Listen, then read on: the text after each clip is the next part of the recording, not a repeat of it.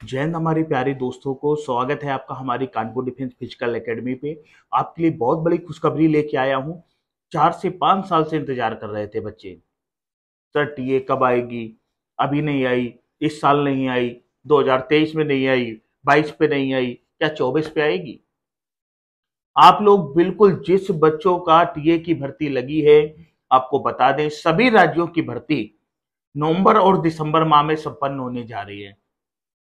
आपको दिखाते हैं। कुछ नोटिफिकेशन रिलीज़ भी किए गए हैं। वो भी हम आपको पूरे दिखाई दे रहे हैं।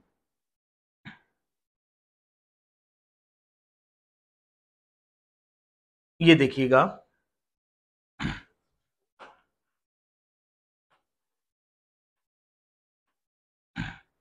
साफ़ साफ़ लिखा हुआ है, प्रादेशिक सेना भर्ती बेलवाबी Karnataka.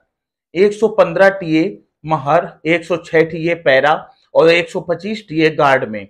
जीडी और ट्रेडमैन सैनिकों के नामांकन के लिए एक खुली भर्ती रैली गुजरात, गोवा, तमिलनाडु, राजस्थान, महाराष्ट्र, कर्नाटक, आंध्र प्रदेश, तेलंगाना, केरल और लक्षद्वीप, पांडिचेरी, दादर और नागर हवेली, दमन और दीप के पात्र उम्मीदवारों के लिए। 4 नवंबर 2024 से 12 नवंबर 2024 तक आरएमएस ग्राउंड बेलवाबी कर्नाटक में आयोजित की जाएगी। उम्मीदवारों को शारीरिक माप परीक्षण दस्तावेज़, जाँच और चिकित्सा परीक्षा देनी होगी।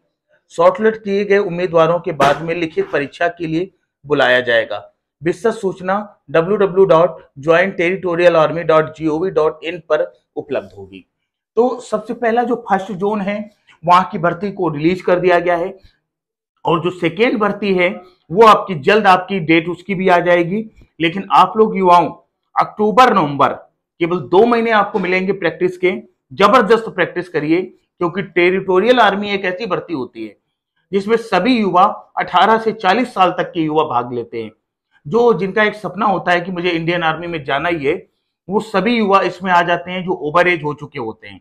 तो आपके पास एक सुनहरा अवसर है, अगर दो महीने आपने लग के प्रैक्टिस कर ली तो आपका सिलेक्शन हंड्रेड परसेंट होगा। मंडे के दिन हम ओपन ट्रायल कराने जा रहे हैं, पूरे इंडिया, पूरे यूपी, कहीं का भी लड़का हो कल के दिन सुबह साढ़े पाँच बजे ट्रायल होगा। उस ट्रायल में आप भाग ले सकते हैं। कानपुर के जो भी युवा हैं, किसी भी एकेडमी के हों, वो सभी भाग ले सकते हैं। जैसा ट्रायल हमारे यहाँ होता है, ऐसा कहीं पर भी ट्रायल नहीं होता होगा। तो कल आइए लाइव टाइमिंग देखिए अपनी। आखिर कितनी आप टाइमिंग मार पा रहे हैं। जय हिंद, जय भारत।